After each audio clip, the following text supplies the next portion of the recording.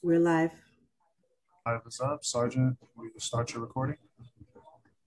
Going to the computer. Cloud is up. Backup is rolling. Thank you. You may begin with the opening. Good morning and welcome to the remote hearing on the Committee on Immigration. Will council members and staff please turn on their video at this time? Thank you. To minimize disruptions, please place all cell phones electronics to vibrate. Chair, we are ready to begin.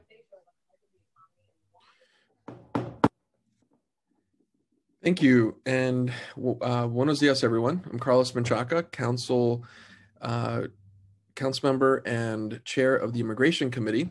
And we are here uh, for a vote.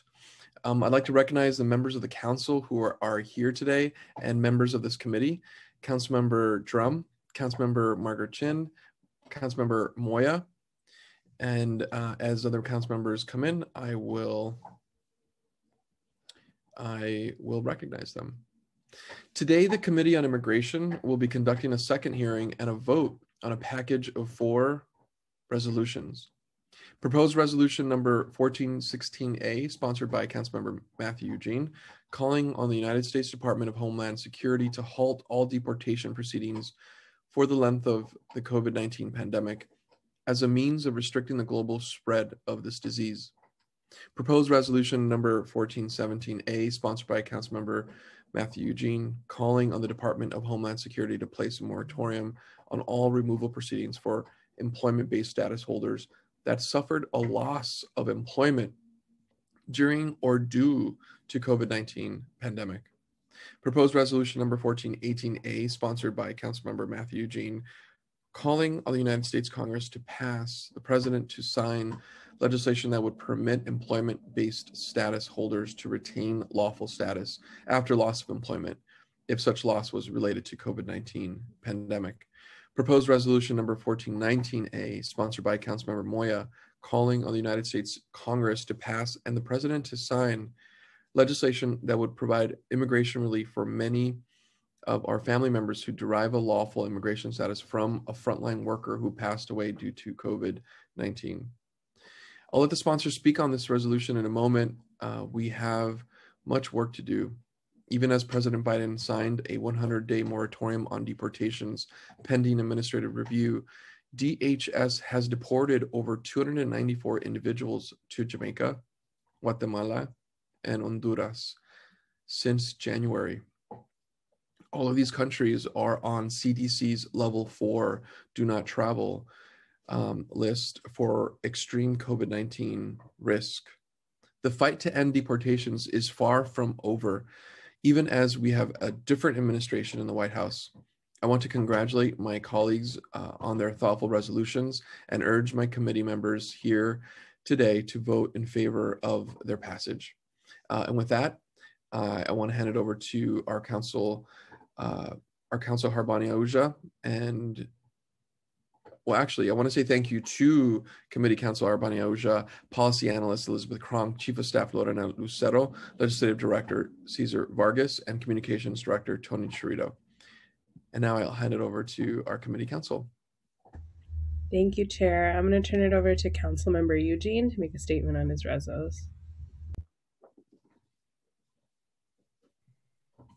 Thank you so very much.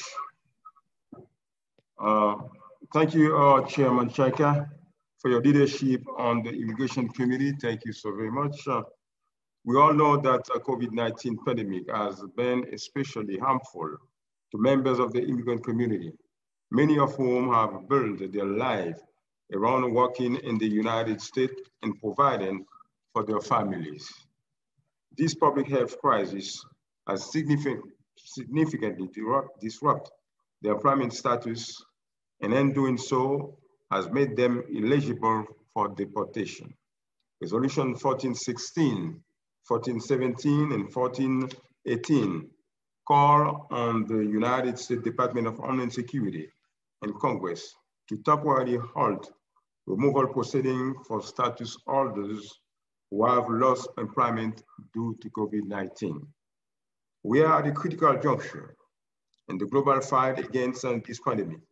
And it is unjust and inhumane to continue to deport the deportations when we know the health risk posed during removal proceeding, especially when individuals are housed close together and proper hygienic practice are not available to. Resolution 1416 call on the United States Department of Homeland Security to halt all deportation proceedings for the length of the COVID-19 pandemic as a means of restricting the global spread of this disease. Resolution 1417 calls on the United States Department of Homeland Security to place a moratorium in all removal proceedings for employment-based status holders that suffer a loss of employment during or due to COVID-19 pandemic.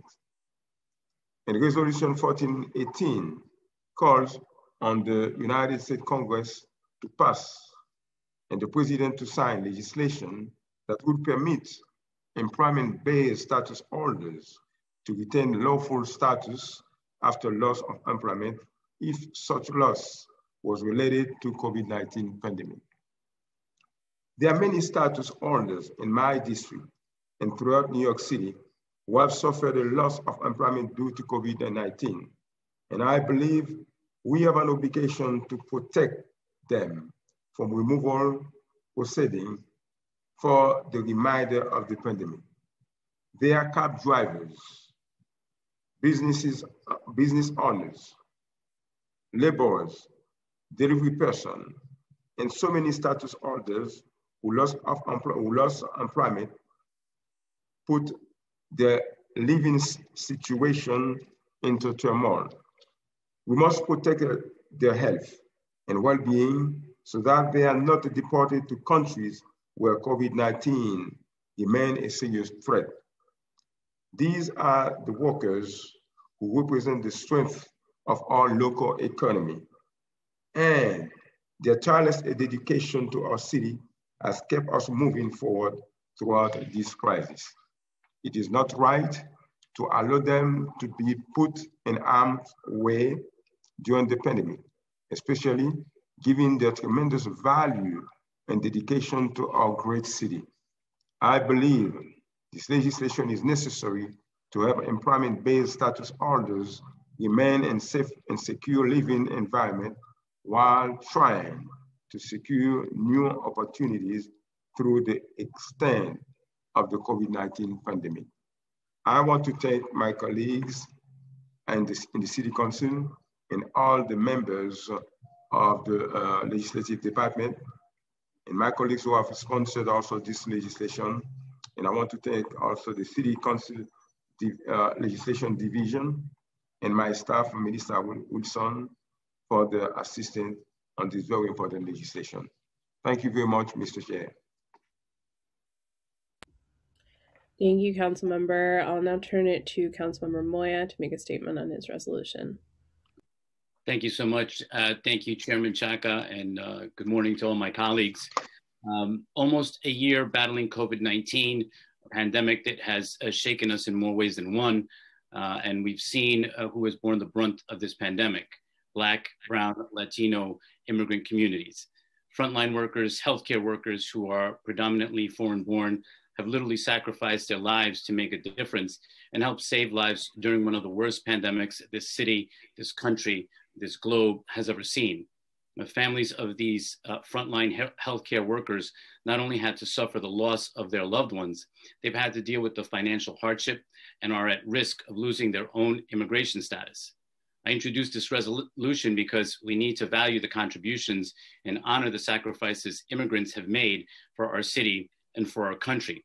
And we must treat our immigrant community, uh, including and especially children, uh, with humanity.